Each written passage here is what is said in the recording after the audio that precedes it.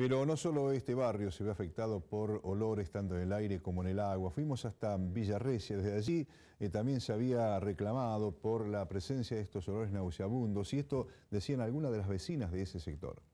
Muy contaminado está este aire. Vos sabés que en el baño, entrar en el baño hay olor de, de ácido. Ácido, pero ácido, que no se puede ni respirar. Y salía afuera también. Eh, así que está en el aire todo eso. El agua también, porque el agua usted eh, este, así hace caliente, sale olor feo, no se puede tomar. Yo compro, yo estoy comprando el agua y mi hijo también lo está comprando, porque dice que no se puede tomar porque tiene olor a lejía.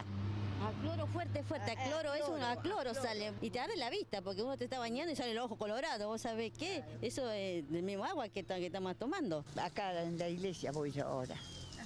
Y ahí también ayer tenían, no se podía estar, las chicas estaban todas, estaban cocinando, estaban otras en peluquería y todas sentían el olor, era terrible.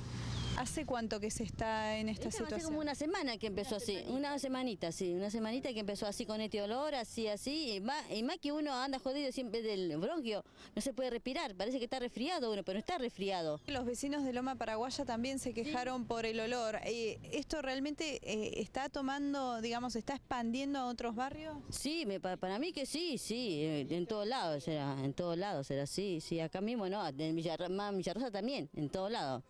Además acá se sienta a la noche, vos sabés que a la noche vos, vos te ponés a andar ese mandado y lo- lo- no podés respirar, tenés que estar vete a tornudar.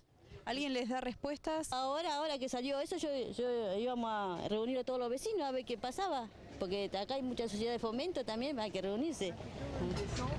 Este olor cuando empezaron la obra esa nueva. Claro, ahí empezó. ¿Hay una obra? Sí, las obras esas de que nueva, la de enfrente, eh, que hicieron para hacer gas o no sé qué, y cerraron las calles, tenían que pasar por acá. Así Por las viviendas de Villa Delfina se refiere. Claro, Y también, no sé, sí. la verdad. es lo mismo, será todo lo mismo. Pero hay que seguir viviendo con él. Ah, sí, el que pueda irse que se vaya. Yo tengo- ¿A dónde no vamos a ir, abuela?